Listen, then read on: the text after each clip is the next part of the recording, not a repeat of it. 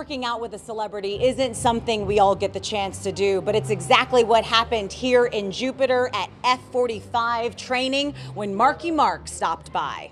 Here we go. We're here to get a workout, uh, best workout on the planet, right here. Uh, you know, this, the, the, excitement and energy in this class is going to uh, pick me up. I've had a long day, but uh, I'm excited to get my workout in. Mark Wahlberg giving us a little post quarantine motivation, hitting the weights at F45 training.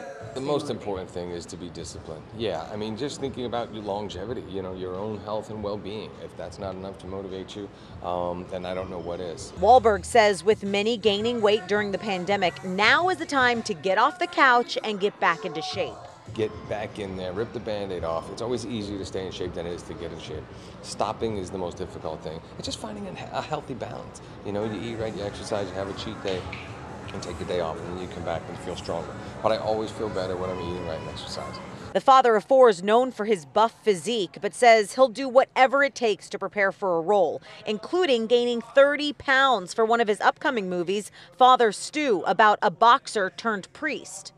I'll get up at two in the morning. I'll do the workout. I'll eat the stuff that doesn't taste good. But you know, when you got other people there and you have other things to motivate you and kind of keep you going and a support system, it makes it a lot easier. The 49-year-old Oscar-nominated actor is a brand ambassador for F45 and bought a minority stake in the fitness franchise in 2019.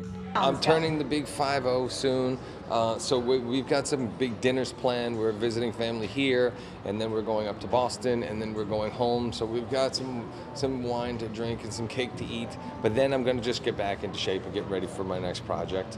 Reporting from Jupiter, I'm Gianna Caserta, WPBF 25 News.